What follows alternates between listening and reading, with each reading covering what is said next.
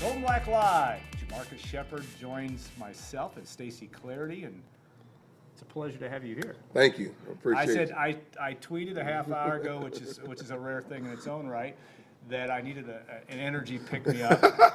and we got two of the best today. We got Jamarcus here in the first segment. David Boudia will join us at 2:20, but Brian Neubert is the ultimate uh, inspirational guy. He'll join us at 2:40 for the uh, third segment. Talk about that. Uh, if you're a Purdue fan, inspirational, uh, great victory for the Boilermakers last night in Assembly Hall. Want to thank our sponsors, Triple X on the hill but on the level.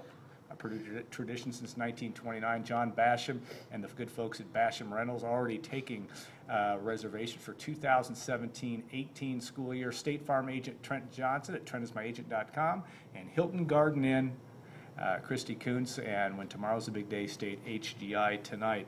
Jamarcus, uh, you, you're, you, you, we'll we'll get to your, your talk at the recruiting roundup, which is still one of my all-time favorites, but you come to Promise Purdue. not to yell in my face. Uh, right now. yeah, I And we have not do pictures that. of it too. we'll put up, But this program needs, and there's no secret, needs, needs a- an energy boost. The staff comes in, uh, uh, and uh, you're an optimistic guy, but what have you, what have you, you've been here now a month plus. What are you seeing about uh, Purdue University football in West Lafayette? Uh, it's awesome. Uh, I'm, I'm, I'm very happy with the, the way everyone has sort of embraced us in our arrival. I walked into a store the other day and, and uh, a gentleman sort of stopped me and said, Hey, Coach Shepard? Yes, sir. uh, and like jumped and grabbed me and gave me a hug. So thank you for coming. So, you know, you know, that's that's obviously how, how you want to be embraced, but you know, you guys tend to love us until we lose one. So, so We'll always, we'll always love Jamarcus Shepard, the person, no what. there you go. I appreciate that. But the players themselves have been.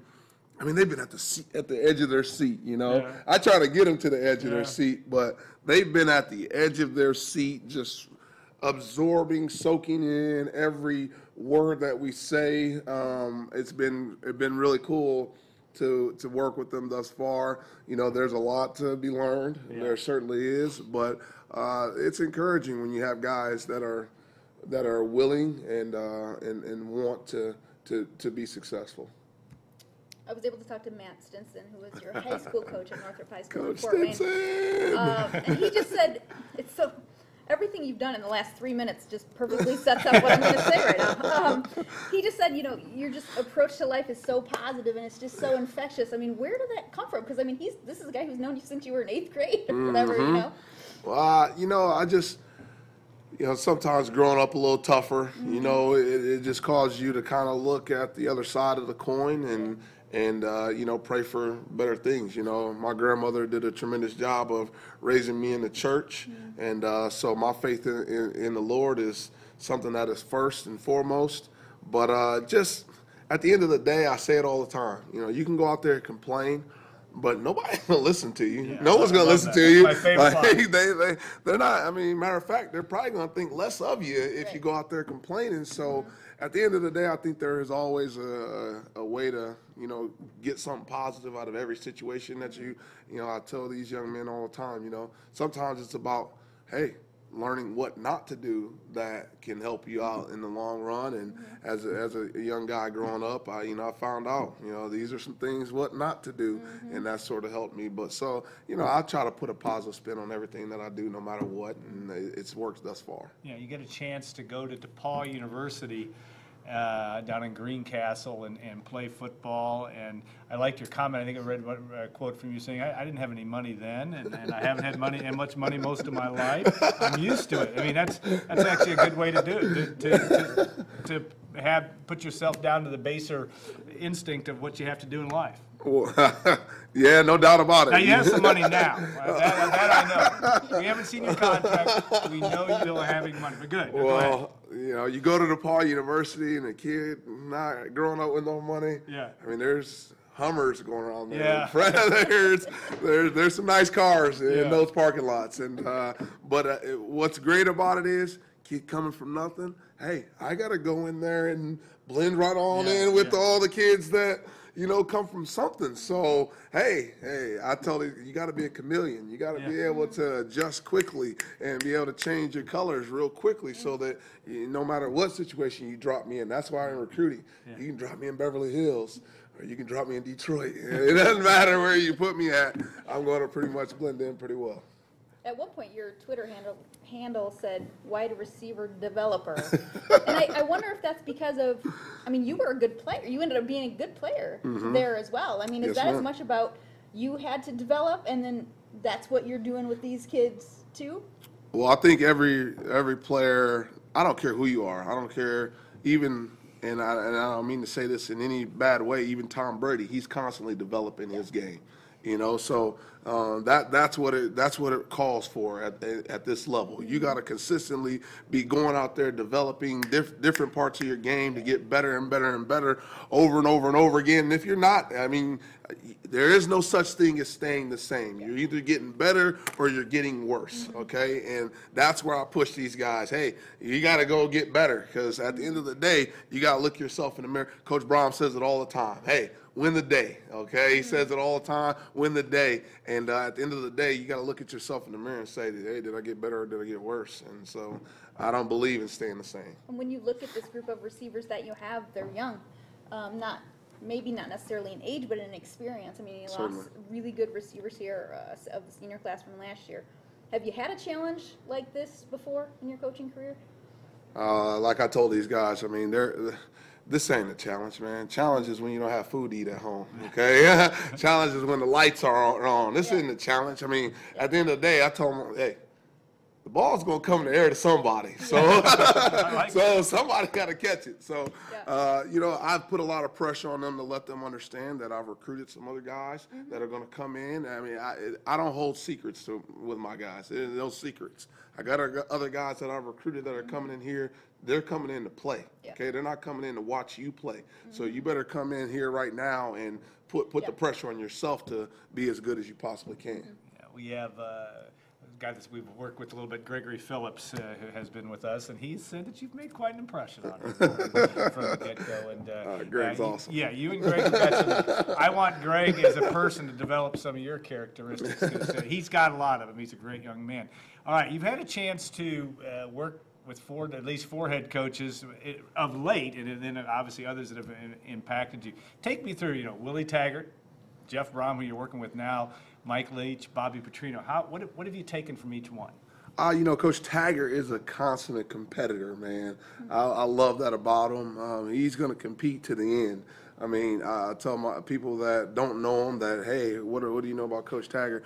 I mean, if, if, the nuclear bomb hit the, the rest of the world, Coach Taggart's still going to be around because Yeah. he's going to compete down to the last second, okay? That's how I feel about that guy. And, and obviously, I felt like I was a real, I've always been a good competitor. He, he's, he's even more so. You know, Coach Brohm, uh, believe it or not, one of the most cerebral guys that I've ever been around. I mean, really thinks through the game a lot of the football part, but understanding it from our players' standpoint. You know, because he played in the league for so long, you know, he, he's really good about that. Um, Mike Leach, Is he as crazy as he seems? Look, look, what you see on those, the, he's not putting on a show for you Yeah, guys. yeah. Like that's who he is. Yeah. That's what he is. That's how he is. When we come back to the meeting, he's very consistent about his message and what he wants to deliver Yeah. to, to, to the players and to the coaches. Um, it- it- it- but he does go off on tangents from time to time. But but what you see is what you get from him. It's not going to be a show.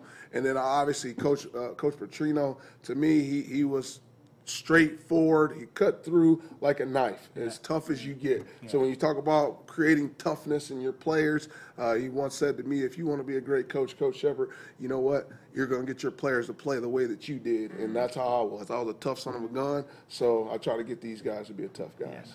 And you came in as what, a hundred pound freshman? Oh my goodness, 98 pounds. See, now you, you give me a couple extra pounds. I appreciate that. You came into college at 98 pounds? No, high, High school, Good. yeah. 'Cause You wrestled at one. You told me you wrestled 150. I said, no, wait. So it took you four years to get up there. Oh my goodness! I, I, I, it's always when you wrestle, you know those numbers. So one, I was 98 pounds, and then 125. Did you first start wrestling at 98 too? I was 98 pounds. Well, Coach Land, um, our uh, offensive coordinator at Northrop, and our head wrestling coach, he wrestled with my brother Terrence Shepard. And uh, after the basketball season was over with, I mean, it was almost like the last shot went up, and the horn goes off. He comes and grabs me. You're going to wrestling. Yeah. Um, What are you talking about? You're a wrestler. Yeah. And he said it so forcefully, I pretty much believed him. so I went and wrestled. So that was that. What's it like being able to be back in Indiana and, and being able to gonna, you know, go out and really recruit the kids, whether it's in Fort Wayne or wherever you go, but just to be home. Uh, it's it's a feeling that Coach Coach Poindexter and I were talking about it today, and uh, it's sometimes hard to really put it in words. You you have this vision as a young person of all these people who have influenced you and impacted you so much throughout your life, and and you say to yourself, man, if I could ever impact other people that same way, how, much of a blessing would that be? and to be able to do that with my people like these are my people. Like that's how i feel about this. Uh, indianapolis fort wayne uh, it, it doesn't matter. The whole state um, uh, evansville i mean terre haute these are my people okay? So uh, to be able to put them in a position uh, look we're gonna have some success here okay? All right? I, i'm just gonna let you know that right now up front okay? We're gonna have some success here. But to have some young men who come from my neighborhood come here and be a part of that man you guys are gonna look back on and say woo let's go purdue that? For the record, is our first woohoo in the six or seven years of uh, Gold and Black Lives. All right, now this enthusiasm, which is phenomenal, and I want you to come back about 7:30 on Fri- on Monday morning, uh, and we'll rent you. i'll be But there Who's the one that takes you to your base where they can sit there and, and get you to be solid? Is it your mom? Is it your family members? Is it a is it a, a minister? Who, who can get you can get you to to turn that off and fully listen and engage? Not that you don't listen, but Yes. take you down to your to, to, to your foundation. Who's that person in your life? Uh, you know what? I don't. I don't really. I honestly believe, and and you guys can believe whatever you want to. I'm telling you what I believe. Okay. I honestly believe that every single day you have to bring a sort of energy to your own life. Yeah. To me, uh, Robert Holland is a is a person who talked to me about energy addicts and how energy is never. Um, it never dissipates. It actually is transferred from one person to the next, and so on and so forth. So he, he brought that concept to me, and I said, no, that's that's what I need to be all Yeah, the time. yeah. I need to be able to bring energy to other people because these guys, these players, they mope around. Now, the truth of, to answer your actual question, my wife, uh, Hallie, she she at times can kind of get me to settle down and just you know you know just kind of uh, when I'm at home, guys. Uh, let's I'm at home.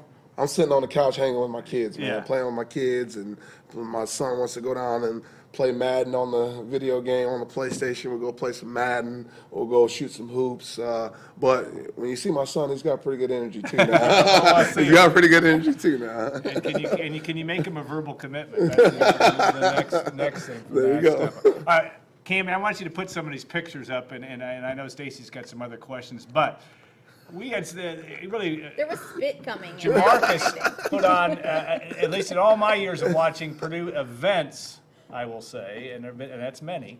Uh, this was a, a, a- a, shining moment in the history. This, this is the recruiting ro- roundup, which was the, right before the Purdue Northwestern men's game, and Jamarcus led it off. And you told Stacy, I Stacy told me before this, or so- somebody we got wind. This was not. This was going to happen. You were going to bring it. He told me he was, I'm going to go in the front row. Yeah. Because I told him you don't need a mic, but you, you kept the mic. So I that was did. good. You need to save your voice a little I bit. did but- just a little bit. But, Yeah. um, yeah, you got in the Now face. roll that, ro- roll some of those through because we've got a couple other ones uh, that I want him to comment on, and one was a face to face with this person. Was that contrived?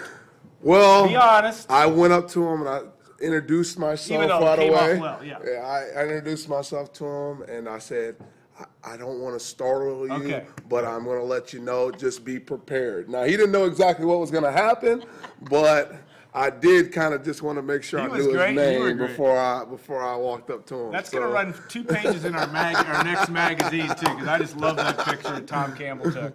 And then this, this was the, uh, the ripping off, and it says the, it's the Brohm Squad, and what's the, what's the uh, subhead to the? a uh, street fight between the whistles.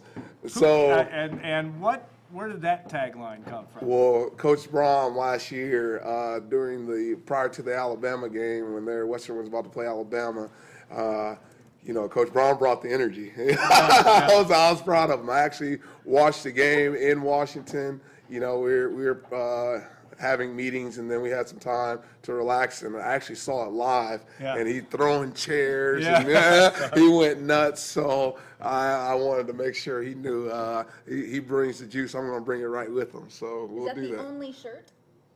Is that the only one I have? I mean, is that was That's- that made just for you, or does everybody? No, they have those available. You can you can get those at the mall. I was walking through the mall the night before this uh, recruiting roundup, saw it, and I said, um, "That's what I'm doing. I'm doing that." Greg Brohm in the hilarious. background did a fine job Oh, my also goodness. bringing some, some juice to Isn't it. he not great at He's- delivery? Oh, he delivers We right had him on on the show a point. couple weeks ago, and I had that sense he, he's got he's got the talkative side of the Brohm family. What's it like though working with three brothers? I mean, do you, I mean the three brothers. I mean, they all uh, bring some uh, different energy levels to them. But uh, why does that why is that going to make your staff better? And obviously, Greg's not on the on the coaching staff, but involved in the program very closely. No, well, I think uh, you know Brian really brings kind of like a calmness. He's really definitely by far the calmest of them all. And you guys, you've seen Coach Brohm out there, and he he's, he presents himself extremely well. That's who he is, you know. But when football starts, Yeah. he like loses his mind. It's awesome. Okay, we all kind of lose our mind, you know. So it's awesome. It's awesome to be a part of that. But he's more the calmer Yeah. one of the group, and then Coach Brohm, game day especially, he gets a little more, a little rougher around the edges, and then Greg is kind of the cerebral Yeah. one of all of them, Yeah. you know. But to kind of work with all of them, it's it's kind of great having a good relationship with all of them because you know I can sort of go to Greg for this particular thing, or go to Coach for for another thing, and then obviously Brian and I are starting to develop our relationship now. This being the first year Yeah. we've worked together, but um, the cool part is seeing them argue, not even necessarily argue, but like like like debate a little bit between each other, Compete. and then and then Jeff will definitely say, okay. We're not gonna have our brothers or a quarrel here right now, which is awesome. So you know that, that's really cool. I mean, to me, I don't, I don't, I don't know that it gets any better than that. To be able to have your brothers right there fighting the good fight with you, I don't know if it gets any better than that. Yeah. This seems kind of the the perfect profession for you because you're able to you know mentor guys and and then still be in football, but you weren't a coach Mm-hmm. for a while. I mean, how did you get into this after not being in it? Did you feel like okay, I'm going to be a coach, and then you just had to wait through it, or you never even knew if you were going to be here? You know, I thought I was going to get a quality, con- I mean, I'm sorry, a graduate assistantship at Northwestern right after I pretty much got out of college. I thought that was going to come through. It didn't. And at the time, I didn't even really know what all was involved with coaching. So I started coaching some high school and stuff like that. But I'm a type of person. I mean, I worked in the corporate. Well, I feel like it was corporate West at, at the NCAA. Mm-hmm. I mean, I, I worked there for a while, and at there I can't be all crazy and stuff all the time like I am. You know, so I Yeah. would coach football after after work, and then uh, working for the drug testing company. Mm-hmm. I mean. The personality that you kind of see from me now, it's kind of how I was in drug testing, believe it or not, um, because people would just you know, drug testing is a little tough. You know, it's a tough environment. You know, you know, you get done winning a national championship, now you got to go pee in a cup. You know, and and we think you're a cheater all of a sudden. No, we don't really think you're a cheater. So, you know, to be able to calm those people down and come and talk to them and have a conversation with them, it, I just got lucky. Somebody noticed it and said. What do you want to do for the rest of your life? And his name's Fred Gibson, Yeah. a person that I'll forever be grateful. Him and Brad Stinnett, um, those guys. I mean, they. I told them I wanted to coach football for the next thirty years, and they said, I mean, it was almost instantly. You'd be a great coach at, at Western Kentucky, and provided me an opportunity, and the rest is what it is right now. So, um, be grateful to those guys, and obviously, I'm grateful for to a lot of people for what they've done to help me throughout this process. I mean, most importantly, grateful to my wife who, who knew that we weren't going to make any money going to Western Kentucky, and she was she was willing to, you know, take that on in order for me to really follow my dream. She tells me all the time, you know, I'm just happy that you're happy that you get to do what you want to do every day, and I, I love her for it. Yeah, last question, what do you, what, what are gonna be some of your goals? What do you need to get done in spring ball? I mean, you have to get familiarity, but you've got, uh, and you do have some, a couple of receivers that are here. Yes, sir. uh, That you recruited, but what's your im- im- immediate goal with, uh, spring ball? Uh, I mean, uh, most most importantly, obviously, it's learning the playbook, getting those guys to know and understand the playbook. But I just want to create an edge for our guys. That's probably the biggest, most important thing. Um, something that I was have been able to do pretty much wherever I've gone is have an attitude about how you play the game and how you approach the game every day, and uh, that that's hugely important to me and, and create that brotherhood. I've already had the guys over to the house, you know, for the Super Bowl, and uh, we had some food over there and hung out. But I wanted to create that brotherhood, but that brotherhood to have an edge to it, uh, so that you know nothing can really penetrate it, so that these guys go out there on game day and uh, they sort of have each other's back. There was a couple really good catches in the fourth quarter of that game, by the way. That was an amazing game for, for uh, receivers as well. I just have a sense this is not going to be our last visit, so I'm glad about that. And we'll look, we'll, and I know Stacy and Kyle and Brian especially will be watching you at practice, but we're going to watch this. It's going to be fun to watch this whole thing develop. Uh, uh, things don't happen immediately, but they happen in steps. So that, Certainly. that's what you're going to try to do, I'm sure. All right, we will take a short break and bring on uh, David Boudia. I don't know, David, if you can top this, but he's going to give it give it a shot, and uh, we'll take that in two minutes on Gold and Black Live.